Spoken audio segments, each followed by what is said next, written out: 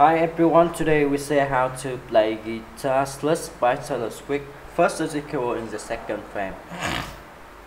The chords in this song are C, G, A M, F, and E M.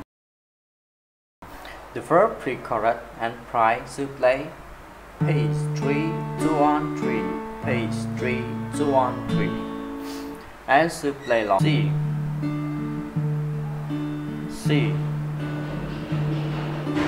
A M.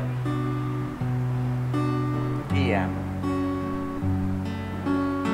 As his instrument is the same way for track to the chorus to play.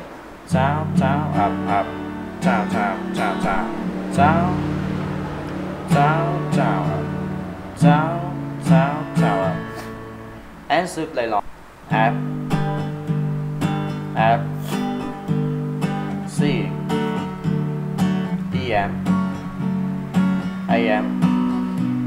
And G.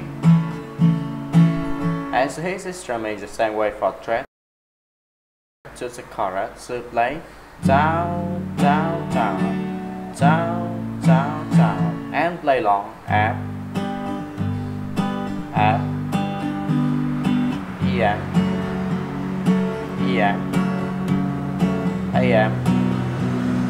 PM and C. And his instrument is the same way for track. Thank you for watching and see you again. Bye bye.